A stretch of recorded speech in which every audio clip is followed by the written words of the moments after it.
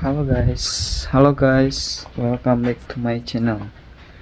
Jadi di video kali ini saya mau buat uh, vlog. Uh, istirahat. Can you say. Jadi istirahat. Saya kerjanya ge gemba ya, itu uh, kerja lapangan. Istirahatnya tuh satu jam 30 menit 30 menitnya itu 15 menit jam 10 terus uh, jam 3 nya 15 menit tambah. Kalau yang sejamnya itu uh, jam 12 itu sejam dari jam 12 sampai jam 1 jadi istirahatnya beginilah. Gimana aja? Ini di gudang. Gudang guys.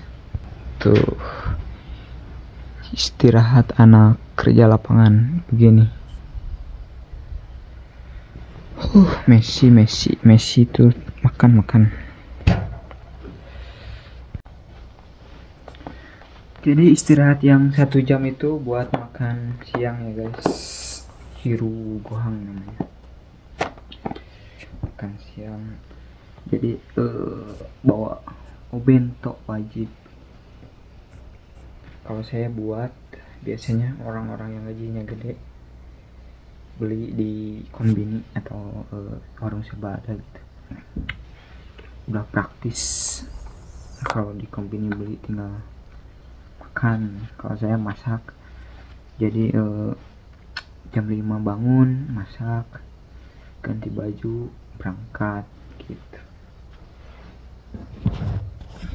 Beginilah uh,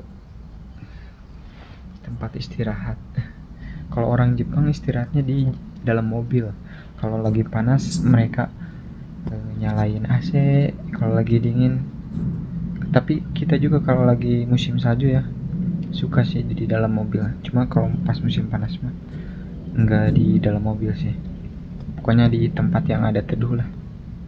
Ini saya tempat kerjanya ada gudang jadi dipakai aja gitu. Yang penting yang penting bisa tidur. Jadi kalau kerja lapangan guys beda-beda karena beda-beda tempatnya jadi setiap satu bulan ganti ganti kerjaan.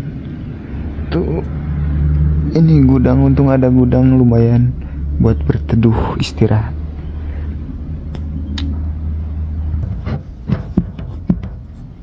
Ya guys segit begitulah cerita anak kerja lapangan Jepang.